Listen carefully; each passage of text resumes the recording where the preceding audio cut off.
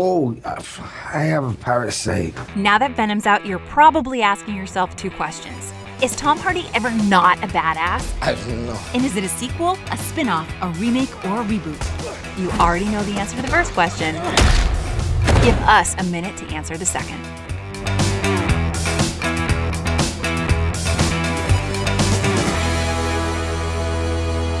Good idea is a good idea forever. Hollywood sure thinks so. David Brent, my liege. Michael oh, Scott!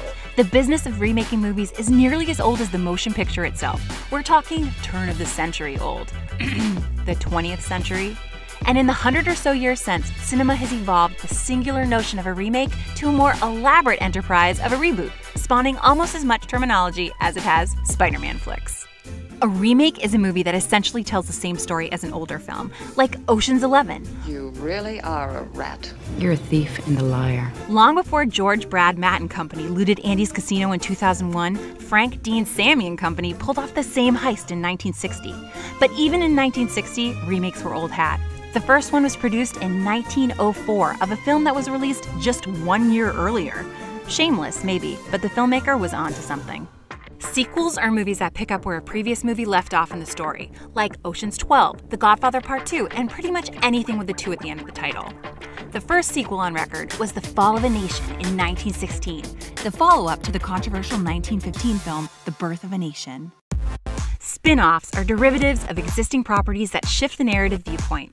Translation The supporting character in the original gets his own show or movie, like Frasier from Cheers, The Cleveland Show from Family Guy, or Creed from Rocky. Most historians date the first spin offs back to 1941, when a minor character on a radio comedy show got his own series on NBC called The Great Gildersleeve.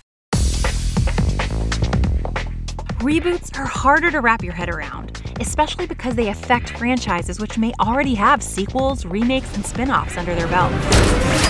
Reboots also don't need to worry about continuity, but they do care about a rebranding of the franchise, like Christopher Nolan's Batman Begins or Paul Feig's Ghostbusters. Let's go. The first reboot dates back almost 35 years, when the longest running cinematic franchise produced The Return of Godzilla. This reboot was the first of many. Godzilla has since been rebooted multiple times by Toho in Japan and three times for American audiences. Rivaling this rate of reinvention is Spider Man, which has been rebooted again and again this millennium on the shoulders of Tobey, Andrew and Tom, or Raimi, Webb, and Watts, depending on how you look at it.